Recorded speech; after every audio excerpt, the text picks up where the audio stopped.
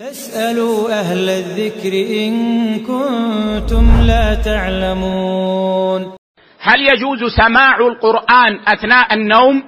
أما كون الإنسان يسمع القرآن فينام وهو يسمع القرآن ويبقى المسجل أو الجهاز يعمل فهذا لا حرج فيه.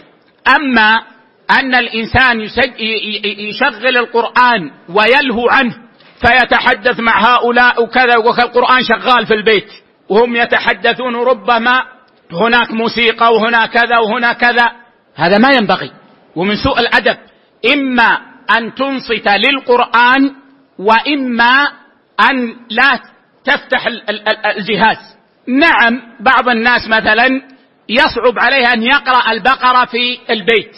فيشغل كما يقولون البقرة في البيت عن طريق هذا الجهاز رجاء. حصول الخير الموعود من قراءتها فهذا له وجه إن شاء الله عز وجل. وإن كان الأصل أن الإنسان يقرأ بنفسه لكن إذا كان ما يستطيع أن يقرأ بنفسه وشغل سورة البقرة بهذا القصد فهذا إن شاء الله يحصل منه المقصود.